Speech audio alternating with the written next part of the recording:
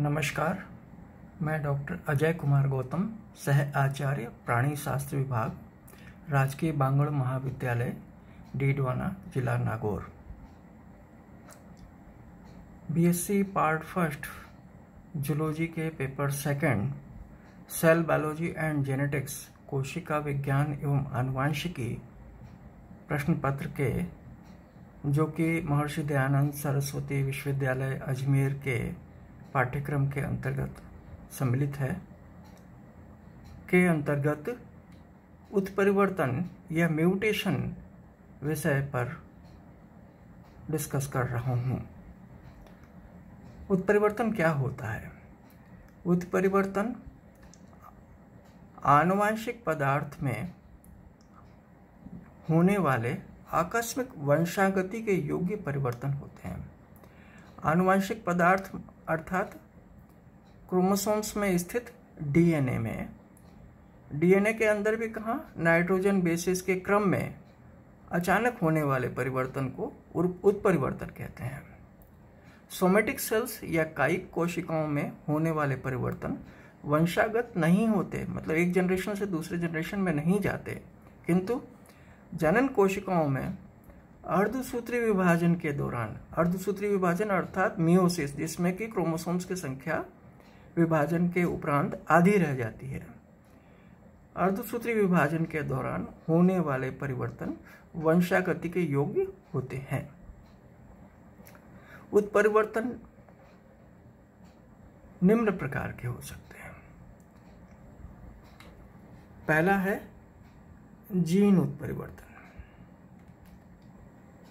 अर्धसूत्री भी विभाजन के दौरान डीएनए का प्रतिकरण होता है। प्रतिकरण अर्थात रिप्लिकेशन होता है कॉपी बनाना होता है, अपनी प्रति बनाना होता है, अपने जैसी प्रति प्रति बनाना होता है, उसको कहते हैं प्रतिकरण रिप्लिकेशन होता है।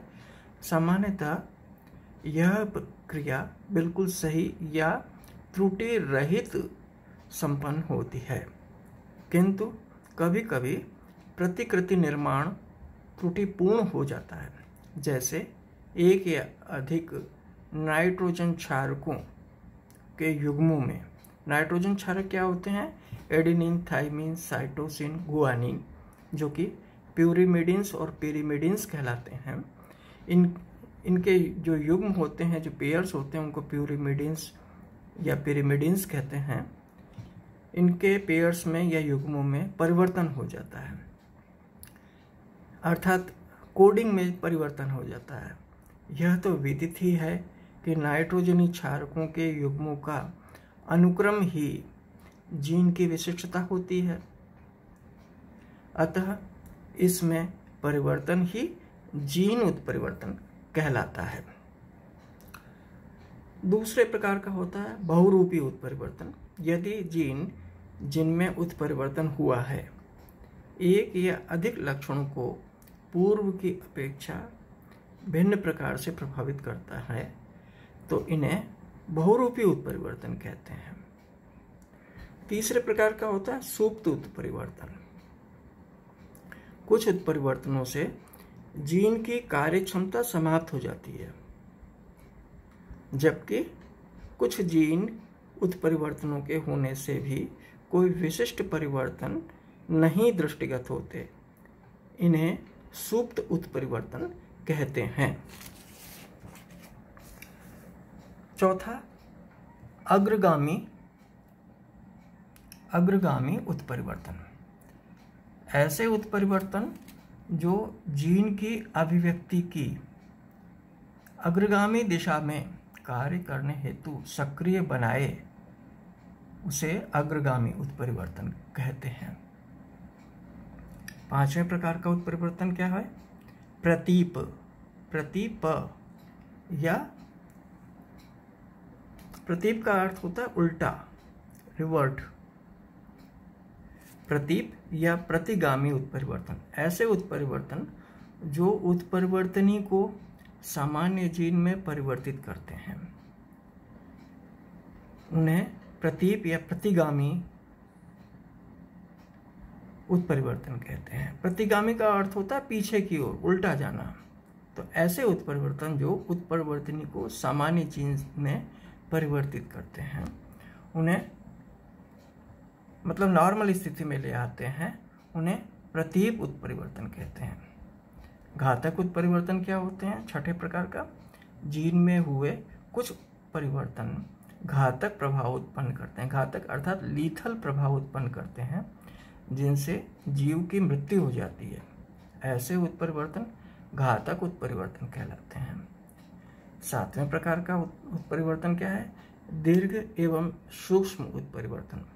जीन में हुए परिवर्तन के कारण व्यापक स्तर पर, लक्षणों में परिवर्तन होने पर, दीर्घ तथा अल्प स्तर पर परिवर्तनों के आधार पर महाविभाजन किया गया है। के आधार पर यह विभाजन किया गया सॉरी यह विभाजन किया गया है। जीन में हुए परिवर्तन के कारण व्यापक स्तर पर लक्षणों में परिवर्तन होने पर दीर्घ तथा अल्प स्तर पर दीर्घ तथा अल्प स्तर पर परिवर्तनों के आधार पर यह विभाजन किया गया है। और आठवें प्रकार का उत्परिवर्तन होता है, प्रेरित उत्परिवर्तन। सामान्यतः उत्परिवर्तन प्रकृति में स्वमेव तथा कभी कभी होते हैं, किंतु लैब्स में, प्रयोगशालाओं में कुछ तकनीकी द्वारा इन्हें किसी जीव में इच्छानुसार उत्पन्न किया जा सकता है। ऐसे उत्परिवर्तन प्रेरित उत्परिवर्तनों की श्रेणी में वर्गीकृत किए गए हैं। प्रेरित अर्थात इंड्यूस उत्परिवर्तन। मतलब अपनी इच्छा से डिजायर्ड डीएनए सीक्वेंस डीएनए में जो नाइट्रोजन बेसिस की सीक्वेंसेस है, उनको हम अपनी इच्छा अनुसार परिवर्तित कर दें। जैसे अभी माना जा रहा है कि Covid nineteen, corona virus SARS C O V two, ये सिंथेटिक वायरस है, या प्रेरित परिवर्तन के द्वारा निर्मित किया गया इसकी टेक्निक प्रेरित उत्परिवर्तन ही है, अगर यह लैब में बनाया गया है तो। कोशीय विभाजन के दौरान, सेल डिवीज़न के दौरान क्रोमोसोम्स का पुनरुत्पादन किया जाता है। क्रोमोसोम्स अर्थात गुणसूत्रों का पुनरुत्पादन मतलब प्रोडक्शन किया जाता है रिप्रोडक्शन किया जाता है। गुणसूत्रों के पुनरुत्पादन में त्रुटि से ही अनेक परिवर्तन लक्षण प्रारूप में प्रकट हो जाते हैं।